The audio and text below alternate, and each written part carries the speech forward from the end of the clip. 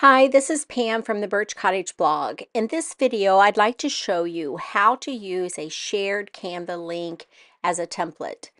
Maybe someone you know created a document in Canva and they have shared the link with you. Well, what do you do with this link? Or maybe you purchased a calendar from Etsy uh, and it is saved in Canva and you're not sure how to use it.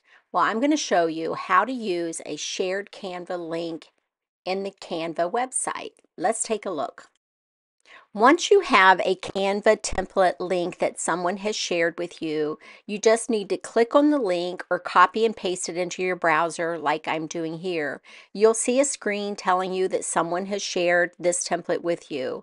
Click on the Use Template for New Design. If you haven't already logged into Canva, it will ask you to log in or create an account. Simply log into Canva. That's Canva, C-A-N-V-A dot com. And then the first thing I like to do once I open this template is to give it a name because it's going to have a name of copy of whatever the document name is that somebody shared with you. So go ahead and change the name of your document. And then I'm going to zoom in a little bit just so I can see this a little better and do my editing more easily. And the first thing I want to do is change the date on this particular document. So I'll click on that text and you'll see a box will appear and that's a text box. You double click on it and then you can just start typing. You can backspace, delete, all the normal text typing features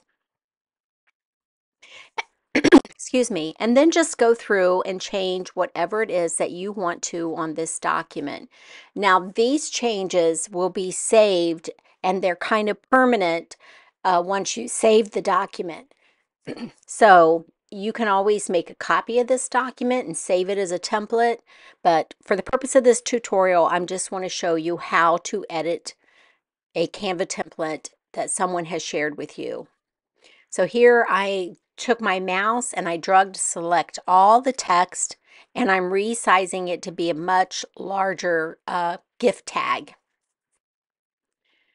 And so I'm printing this out on an 8.5 by 11 piece of paper and I want it to be, or actually I'm going to print it out on cardstock, but I want it to be nice and big. So of course I'm going to change the name to the recipient's name. And here you can see the text field, the text is wrapping. I don't really want it to do that, so I'm going to go up to the top and I'm going to change my font size. I'll just click on the minus to make this font size smaller until I have it the size I want. And now I'm going to change the name of who this handmade item was made by.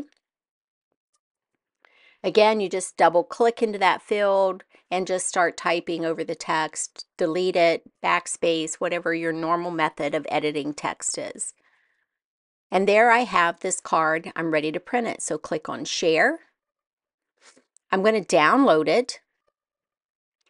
I want to download it as a PDF. So select PDF standard and then flatten the PDF and I just want the very first page in this document. So I'm going to select that page and then click on download.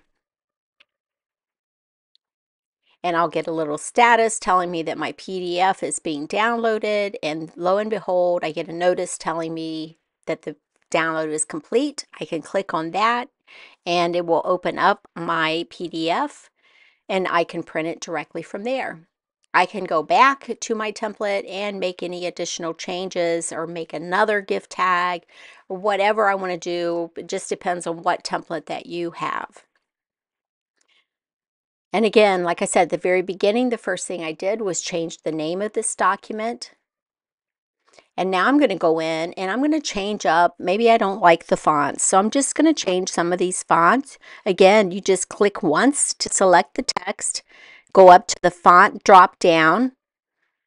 And then on the left side, a box will appear with a long list of all the available fonts. Now, some of the fonts require that you have a Canva membership, and a lot of them are free. So just be aware of that.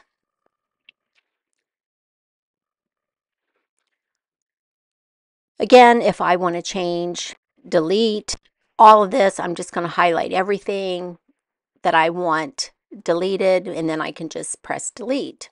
But say I want my Made with Love text to be a different font. I'm going to click on the font.